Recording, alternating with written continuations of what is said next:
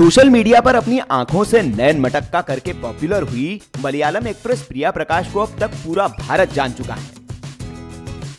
लेकिन लोग अभी प्रिया प्रकाश वॉरियर की आँखों की मस्ती से उबरे भी नहीं थे कि एक और बाला सोशल मीडिया पर खूब सुर्खियाँ बटोर रही है। इससे पहले पाकिस्तान का चाय वाला और नेपाल की सब्ज़ी वाली के बाद अब एक मीट वाली सोशल मीडिया पर सेंसेशन बन चुकी है। सोशल मीडिया पर वायरल हो रही यह लड़की ताइवान की है।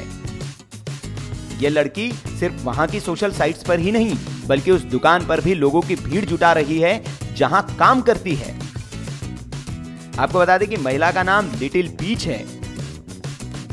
असल में लिटिल एक मॉडल है, जिसे एक फ़ूड वेंडर ने अपने यहाँ काम पर रखा है। इस फ़ूड वेंडर का कई महीनों से बिज़नेस घाटे में चल रहा था। इसलिए प्रॉफिट कमाने के लिए फ़ूड स्टॉल के मालिक ने एक मॉडल को खाना सर्व करने के लिए रखा। फिर क्या था? फ़ूड वेंडर का आइडिया हिट हो गया। अब उसके स्टॉल पर लोगों की भीड़ लगने लगी है।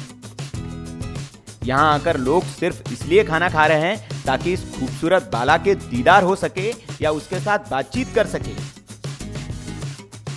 अब इस फ़ूड स्टॉल मालिक को खूब फ़ायदा हो रहा है, क्योंकि उसके स्टॉल की न सिर्फ़ माउथ पब्लिसिटी हो रही है, बल्कि यहाँ लोग आकर खूब प्रोडक्ट भी खरीद रहे हैं।